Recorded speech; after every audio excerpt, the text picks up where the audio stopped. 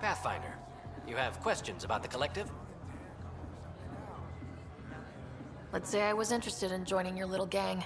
How would I do that? You're more high profile than our usual members, but it's up to the charlatan who joins. If you have potential, our leader will reach out to you, usually through a representative. And then what? For some, that's it. Others may have to pass a test. It's different for every recruit. Thanks for your time. Of course, Pathfinder. Of course.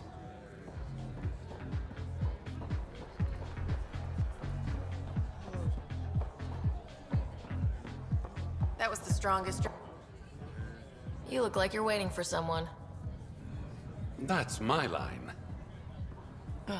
You want a drink or a room? Information, actually.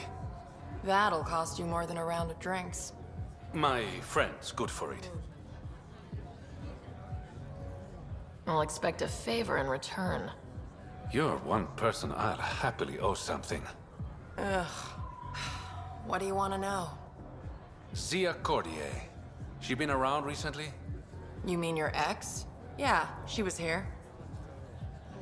Ex? As in girlfriend? Girlfriend's such a strong word. And we had drinks occasionally, so... she was here? Yeah, met with a salarian. Shifty guy I'd never seen before. Maybe it was the charlatan. Anything's possible. You overhear their conversation? They were planning to meet someone at Spirit's Ledge. Thanks, Umi. Whatever. You didn't hear it from me. If you check the meeting spot, I'll follow the collective lead. Doubt Zia was meeting the charlatan, but you never know. Is this job about getting your cargo back or one-upping an ex? Why, Ryder? Are you jealous? Just answer the question.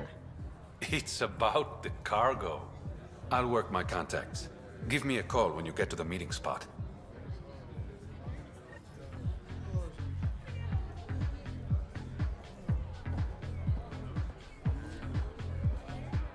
You know, Kadara ain't half bad. Nexus could learn a thing or two.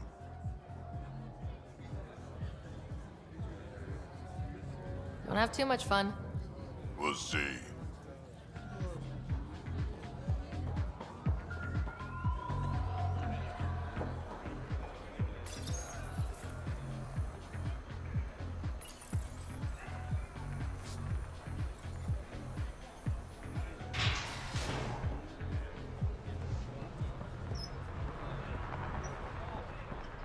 make fear